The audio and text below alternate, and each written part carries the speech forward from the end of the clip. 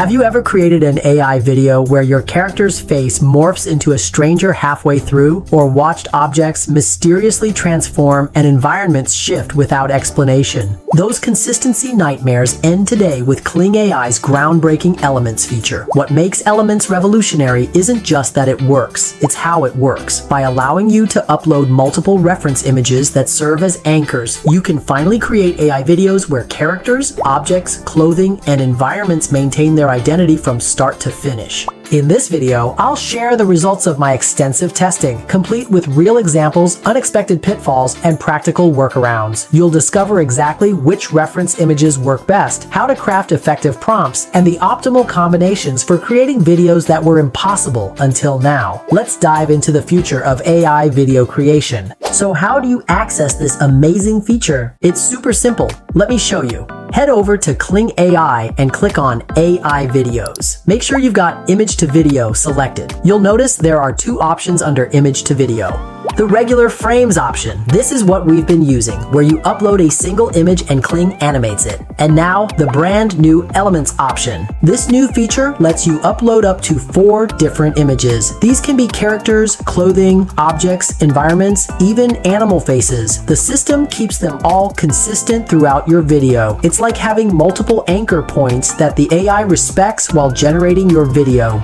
I know, Pika released a somewhat similar feature a while back. After testing both, I can say with confidence, Kling's implementation is much smoother and more reliable. The consistency is better and the interface is far more intuitive. Trust me on this one. Exciting, right? No need to rush. I'm going to walk you through the basic workflow for using Elements. First, prepare your reference images, up to four. Then upload them to the Elements interface. Craft a prompt that connects these elements together and don't forget to add a negative prompt. This is critical. After adjusting settings like aspect ratio and video length, you can finally generate and evaluate. The better your reference images, the better your results will be. What makes a good reference image? Clean backgrounds, white is ideal, clear visibility of the subject, good lighting and strong characterization if you're using characters. And here's a tip that the official documentation doesn't emphasize enough. Your images should have somewhat similar artistic styles. Mixing a hyper-realistic photograph with a cartoon-style illustration might produce unpredictable results. Not saying it won't work, but consistency will likely suffer. Let me show you a real example so you can see just how powerful this is. For my first test, I wanted to make a dream come true, bringing a favorite character right into your home. I chose Katniss Everdeen and decided to place her in a bedroom bedroom setting. Crazy, right? Here's what I uploaded. A full body image of Katniss Everdeen in her black bodysuit, showing her iconic look from the arena. A bedroom setting with a window, just a regular bedroom. Of course, the prompt is critical here. You need to describe how all these elements connect to each other. I wrote, cinematic. The woman in the black bodysuit stands by the window and turns to look at the viewer. The camera slowly zooms in on the woman's face. Why does this prompt work well, you ask? Cinematic. This sets the overall aesthetic tone woman in the black bodysuit, directly references the character and her outfit stands by the window, places her in a specific location in the room, turns to look at the viewer, creates a simple but engaging action. Camera slowly zooms in on the woman's face, adds camera movement for dramatic effect. See the result for yourself. Katniss maintains her identity throughout. The bedroom setting stays consistent. She's standing right by that window and dramatically turning to look at you. A scenario that that lets you bring any character right into your own space. Is it perfect? No. As the camera zooms in, Katniss looks a bit older than she's supposed to be. There's a slight aging effect happening with her face, but honestly, who cares? She's in the room. She's right there in a consistent, believable way. You could do this with your own bedroom and have any character standing right in your personal space. Oh, and don't forget to add a negative prompt. I used morphing, anatomical errors, and glitch. In my testing, adding these negative prompts reduced facial morphing by about 40% and body glitches by nearly 60%. Alright, that's enough for the instructions. Next, I'll be putting Kling AI elements to the test in different scenarios to see what it's capable of. Ready? Let's dive in. First of all, object consistency. For this test, I've got a great image of my reimagined King Arthur and a vintage Moto Morini 501 Excalibur. The motorcycle is our key object here. We need it to stay consistent throughout the entire video. Now for the prompt, I wrote cinematic, the man with armor riding the motorbike on the highway speeding up hyper fast while camera follows them dynamically. Gives the AI all the elements it needs, who's doing what with which object in what setting, plus how the camera should move. The key here is making sure your object, in this case the vintage motorbike, is clearly described and given an active role in the scene. Check out the results. The motorcycle, our key object, maintains its design throughout the entire video. The handlebars, engine, sleek lines all stay consistent from start to finish. That's the power of object consistency, something that was practically impossible before. Are there any issues? Absolutely. Arthur's proportions went a little wonky. His head's a bit too big for his body, giving him that medieval bobblehead look. That's probably because I only gave Kling a half-body photo of Arthur, so the AI had to imagine his lower half from scratch. But what matters here is that Excalibur, our main object, stays rock solid throughout the scene. To push this object consistency feature even further, I tested a completely different scenario, a pirate character with a rifle. The results? The rifle maintained about 60 to 70% consistency throughout the video. That might not sound mind-blowing at first, but compared to what was possible before, it's like comparing a flip phone to an iPhone 15. Why does this object consistency matter so much? Because now AI filmmakers can build entire narratives around objects. Think about Lord of the Rings. The One Ring is as much a character as Frodo. With Kling elements, these objects can finally maintain their identity throughout the video. What about character consistency? Well, things start to get interesting. Multiple character consistency has been a pain for AI video generators until now. Getting one character to stay consistent already drives them nuts, but two or more? You might as well be asking for the moon. I decided to try something that would blow people's minds. I uploaded an image of Princess Diana and another of Emma Corrin, who plays Diana in Netflix's The Crown. Real person meets actress in the ultimate royal crossover. My prompt was super straightforward. Two women in red dresses are drinking tea and talking with each other.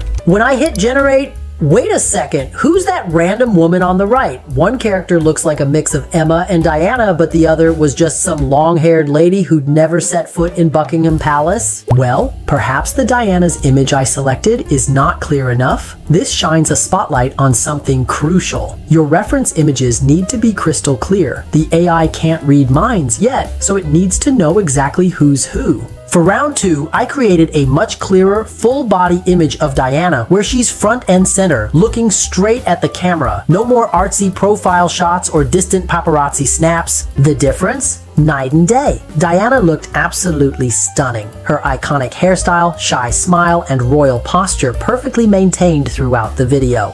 The AI captured her essence beautifully. Emma maintained her general appearance too, though I noticed her famous red polka dot dress with strings is turned into a plain red strapless number. Dress details are tough for AI. This taught me a killer hack. Create a full body reference image of your character in Midjourney first, then feed that into Kling. Since I had a detailed head to toe image of Diana, but only a partial shot of Emma, Diana's consistency was way better. Better reference equals better results. I can't stress this enough. Managed to create some decent scenes with Diana, Emma, and King Charles, but still, for anything substantial, 2 is definitely the sweet spot. One last nugget of wisdom from my testing. Characters with standout features, like Diana's signature hairdo maintain their identity way better than generic looking folks. The more unique visual hooks the AI has to grab onto, the more consistent your characters stay. Those details are why we can all spot someone from a mile away. Turns out AIs work the same way. Next up, consistent clothing and garments. Elements lets you upload images of specific clothing items and Kling will put them on your character. I tested this with a navy crew neck sweater and a pair of beige chinos along with a full body shot of James Bond and an environment.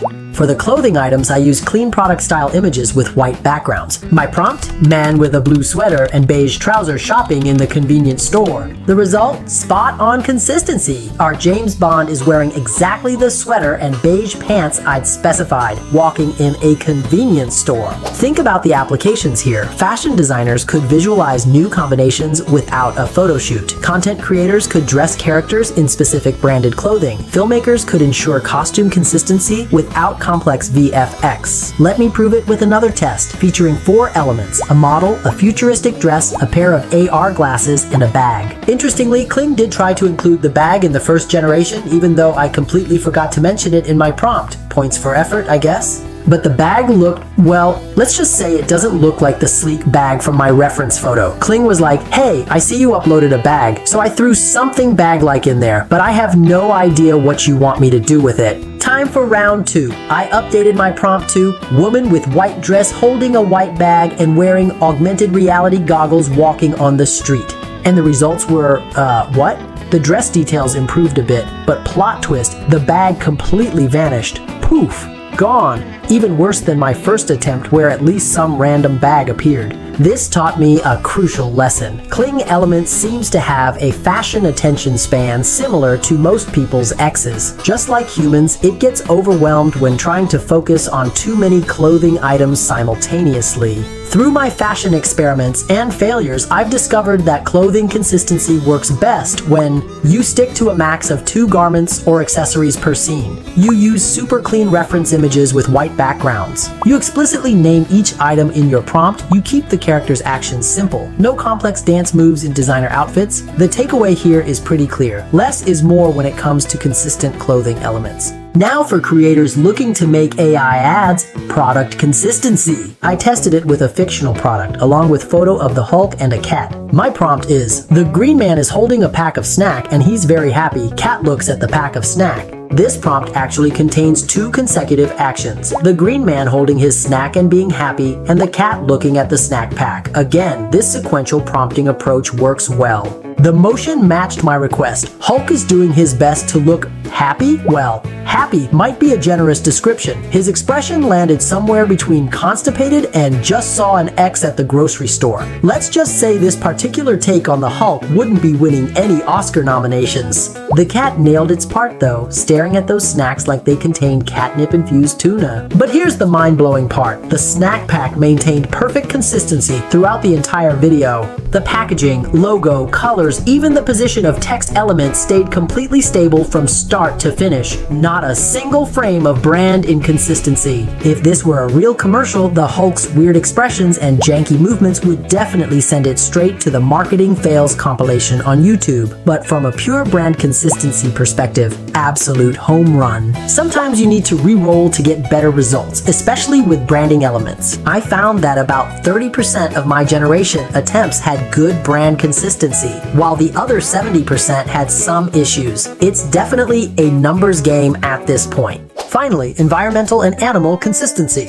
You don't realize how crucial they are until you start working on an actual short film or narrative project. I briefly tested environment consistency with a ballerina dancing by a moonlit lake. The environment maintained its dreamy appearance throughout the video, and the ballerina remained clearly defined against it. In another environment test, I used an image of a giant gummy bear attacking a city with a separate cityscape reference. The environment consistency was remarkable. The urban setting maintained its appearance throughout with buildings keeping their general shapes and positions. The gummy bear character was exceptionally consistent, even maintaining its translucent gelatinous texture. For animal consistency, I used a photo of my cat and an AI-generated cool dog putting them in a fighter jet scenario. Kling perfectly places them in the cockpit, a complex environmental challenge, and the consistency of both animals was remarkable. For such a low-quality reference image, my cat's fur color remained consistent, as did the dog's sunglasses. Here's something that surprised me. When combining human and animal faces in the same scene, I expected consistency issues, but Kling Elements handled it like a champ. In my tests with both a person and an animal in frame, both maintained their distinct features. Even when the human was the main focus of the action, the dog's distinctive face stayed consistent throughout. After dozens of tests and countless generations, the verdict is clear. Kling AI's Elements feature delivers the consistency breakthrough we've been waiting for. While not perfect, remember Arthur's bobblehead proportions. It represents a quantum leap from what was previously possible.